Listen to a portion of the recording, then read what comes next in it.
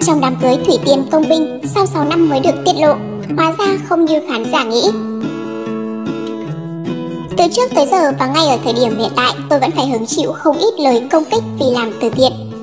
Nhiều người nói rằng tôi lừa tiền, dùng tiền để làm màu, đánh bóng tên tuổi, kêu gọi phải dè chừng tôi. Nhưng tôi chẳng suy nghĩ gì hết.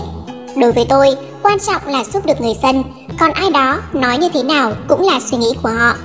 Thủy Tiên chia sẻ. Tuy nhiên, khán giả chắc chắn không biết rằng những điều đặc biệt trong đám cưới của Thủy Tiên Công Vinh và suốt quá trình từ năm 2014 cho đến nay. Thủy Tiên Công Vinh đãi tiệc chay trong đám cưới. Công Vinh và Thủy Tiên hẹn hò từ năm 2004. Sau 8 năm chung sống, cặp đôi đã chào đón con gái đầu tiên có tên là Bánh Gạo. Sau đó 2 năm, chân Xuất Xứ Nghệ chính thức tổ chức đám cưới thế kỷ với bà xã, ngôi sao là nhạc Thủy Tiên. Hôn lễ hoành tráng của cặp đôi vàng của làng giải trí Việt Nam có khoảng gần 1.000 khách mời và các món ăn, tất cả đều là đồ chay, vì cô dâu chú rể không muốn sát sinh trong ngày vui. Nữ ca sĩ đã chia sẻ, đám cưới của cô và bố bé bánh gạo đặc biệt ở chỗ thực đơn trong bữa tiệc chỉ toàn là món chay. Lý do là vì cô nghĩ rằng trong ngày hôm nay là ngày mình vui nhất thì không muốn sát sinh. Tại sao trong ngày này những con vật lại phải chết? Đây được coi là đám cưới hoành tráng và được mong đợi nhất trong năm 2014. Thứ hai, điểm đặc biệt, Công Vinh và Thủy Tiên đã dành hết sạch sành xanh tiền mừng đám cưới của mình để làm từ thiện. Sau đám cưới, số tiền nhận được là hơn 2 tỷ đồng. Công Vinh và Thủy Tiên chia làm 5 phần như sau. Một phần thì gửi lên chùa, một phần gửi đến trường Nguyễn Trung Trực, nơi Thủy Tiên đã từng học cấp 3. Một phần gửi đến các xã vùng sâu vùng xa và một phần tặng cho trẻ em thiếu may mắn. Phần còn lại dùng để xây cầu tại nông thôn. Trong số đó, mẹ chồng của nữ ca sĩ đã trao tặng cho con dâu hai cây vàng. Dù biết các con không hề thiếu thốn, nhưng mẹ của chân sút xứ nghệ vẫn dành tặng cho Thủy Tiên món quà theo đúng nghi thức truyền thống cưới xin của người Việt Nam.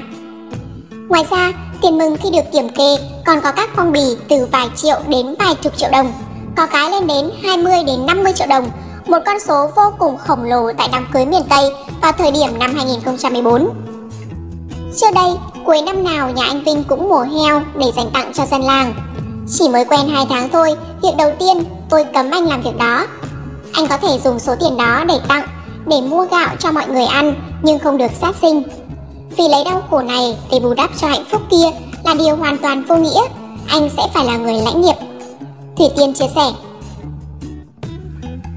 Điểm đặc biệt thứ ba, đồng lòng giữ kín con tách biệt với showbiz. Sẵn sàng chia sẻ niềm hạnh phúc làm bố mẹ nhưng Công Vinh và Thủy Tiên chung quan điểm giấu kín con gái. Cho tới nay, bánh gạo đã 6 tuổi nhưng chưa một lần công chúng nhìn thấy mặt của bé. Tất cả những hình ảnh về nhóc tỳ của cặp vợ chồng ngôi sao chia sẻ đều chỉ thấy từ phía sau hoặc là che mặt. Ngay cả trong đám cưới rình rang vào năm 2014, Công Vinh và Thủy Tiên cũng không cho con gái bánh gạo xuất hiện. Trước đó ai cũng chắc chắn đám cưới sẽ là dịp mà cặp vợ chồng ngôi sao công khai con gái cho công chúng. Nói về lý do giấu kín công chúa, Thủy Tiên Công Vinh khẳng định cả hai làm việc đó là để giúp cho bé bánh gạo có một cuộc sống bình thường như những em bé khác.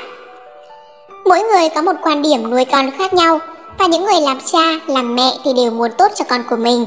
Tôi biết rõ một điều, việc săn đón quá nhiều của giới truyền thông sẽ ảnh hưởng rất nhiều đến sự phát triển của bé nếu như không đủ tâm lý. Có thể nói quan điểm của các bà mẹ khác không giống với tôi, cũng một phần từ hoàn cảnh sống mà ra. Thêm đó chắc là vì một số bà mẹ khác chưa có va chạm với thị phi nhiều như tôi đã từng trải qua, nên tâm lý bảo vệ con cũng chưa có. Chính vì thế, tôi giấu con có lý do riêng của mình. Thủy Tiên chia sẻ. Gia đình Thủy Tiên ăn chay mỗi ngày. Thủy Tiên chia sẻ để có thể giữ được vẻ đẹp bởi vì cô đã ăn chay mỗi ngày, con gái cô cũng như vậy. Thủy Tiên chia sẻ. Bé bánh gạo từ nhỏ đã ăn chay và ngủ riêng với bố mẹ, chính vì vậy con rất tự lập, Thủy Tiên mới dám đi miền Trung trong nhiều ngày như vậy. Mẹ và dì của Thủy Tiên không lấy chồng, ăn chay trường, mỗi ngày đều đọc kinh cầu chúc cho con cháu. Ca sĩ Thủy Tiên không đi hát quán bar sau khi lấy chồng. Thủy Tiên tâm sự, sự gợi cảm của tôi không đến mức vi phạm đạo đức, nhưng sau khi sinh con, tôi đã hạn chế ăn mặc khở hàng, nếu không sẽ ảnh hưởng tới chồng con và gia đình. Nếu có phim hay quảng cáo nào mời tôi đóng nhân vật hư hỏng, tôi cũng sẽ không tham gia. Thời trẻ thì làm cái gì cũng được, tôi đi diễn ba 2 đến 3 tháng trời không vấn đề. Nhưng bây giờ quán bar mà mời thì tôi sẽ không đi. Tôi phải sống cho chồng con, phải giữ hình ảnh của mình. Ngày trước tôi cũng hay bị dính vào trường hợp nhạy cảm. Ví dụ, một số nhãn hàng bia tổ chức ngoài bãi biển đòi hỏi nữ ca sĩ phải mặc trang phục mát mẻ cho phù hợp. Hay là nhiều khi đi hát tại quán bar cũng phải ăn mặc cho phù hợp. Tôi thấy mọi người trong khi đó rất thoải mái, nhưng khi chụp lên báo thì lại trở thành một kiểu khác. Một số báo chí cũng rất kỳ cục, cố tình đưa máy chụp từ dưới chân tôi chụp lên, chụp lại những kiểu rất nhạy cảm.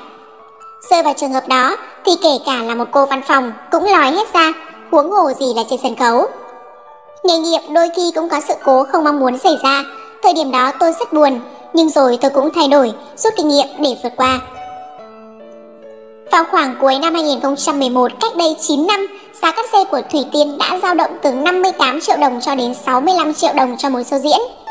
Bây giờ cô nhận được rất nhiều quảng cáo với thu nhập không kể xiết.